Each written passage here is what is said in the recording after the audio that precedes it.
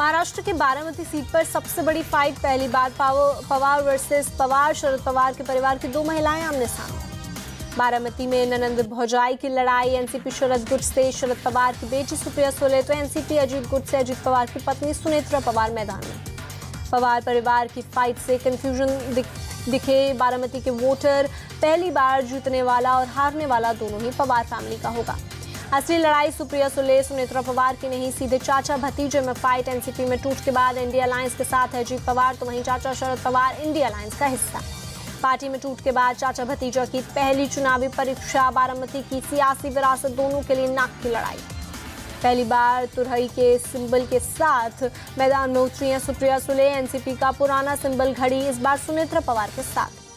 पवार परिवार का गढ़ रहा है। बारामती पिछले 28 साल से इस लोकसभा सीट पर जीत रहा है पवार फैमिली का उम्मीदवार। छह बार बारामती से सांसद रहे हैं शरद पवार। पहली बार उन्नीस सौ चौरासी में इंडियन कांग्रेस के टिकट पर यहाँ से जीते थे चुनाव। तीन बार कांग्रेस, दो दो बार एनसीपी के टिकट पर रहे सांसद। तीन बार बेटी सुप्रिया सुले और एक बार भतीजा अजीत पवार यहाँ से जीते। बारामती से छह बार विधायक भी रह चुके हैं शरद पवार। उन्नीस सौ इक्यानवे के बाद भतीजा अजीत पवार सीट से हैं विधायक। 2009 में पहली बार पिता की पारंपरिक सीट से चुनाव जीतकर संसद पहुँची थी। सुप्रिया सोले 2014-2019 में भी लहराया जीत का परचम।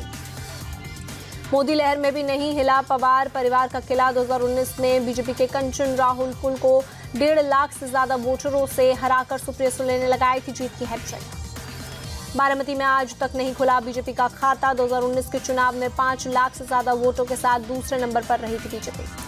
पिछले कुछ समय में बारामती में मज़बूत हुई है बीजेपी 2009 के मुकाबले। 2019 के लोकसभा चुनाव में करीब दोगुना हुआ। बीजेपी का वोट शेयर विधानसभा चुनावों में भी बीजेपी का वोट बढ़ा।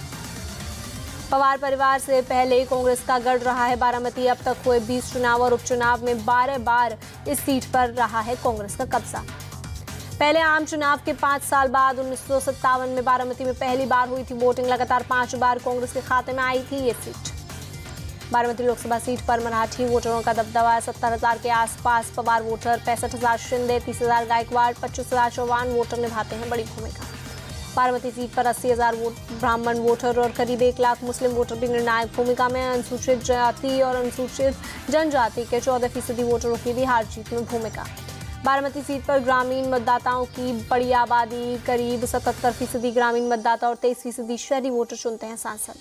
बारामती लोकसभा क्षेत्र के दायरे में विधानसभा की छह सीट, दो के विधानसभा चुनाव में बीजेपी, कांग्रेस और एनसीपी को मिली थी दो दो सीट। पुणे ज़िले में करहा नदी के तट पर बसा है बारामती नदी किनारे।